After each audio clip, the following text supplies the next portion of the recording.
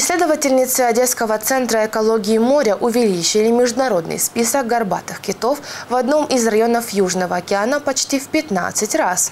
Об этом сообщили в Национальном антарктическом центре.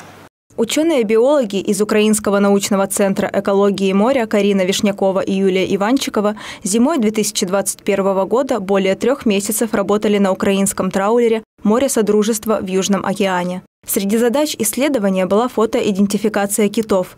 Исследовательницам приходилось часами стоять на палубе, чтобы ловить китовые хвосты. Ведь у этих животных на хвостах уникальный узор, который как отпечатки пальцев у человека.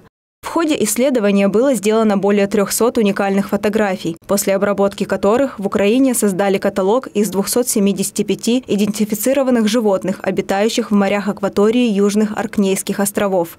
Ранее в этом районе были идентифицированы всего 15 горбатых китов. Фотографии наших исследовательниц внесены в международную базу китов Happy Whale.